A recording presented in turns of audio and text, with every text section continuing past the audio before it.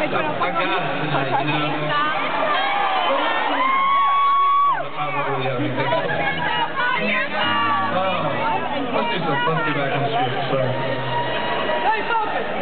having a little too much fun out on this tour this year. You guys still feeling okay out there tonight?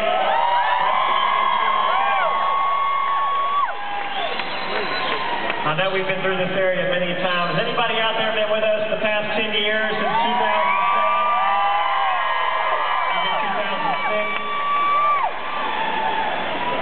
We're getting old, guys. We're getting old. You're getting old.